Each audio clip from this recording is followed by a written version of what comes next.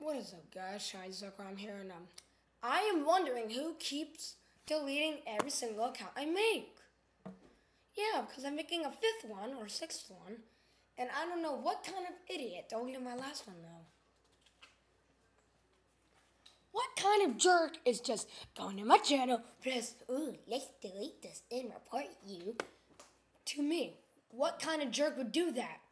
And I'm gonna find out who. Because if it's Shiny Lugia, I am gonna be very, very, you know what, off.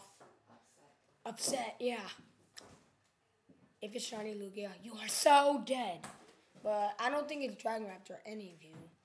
But I think it's Shiny Lugia who keeps hacking me.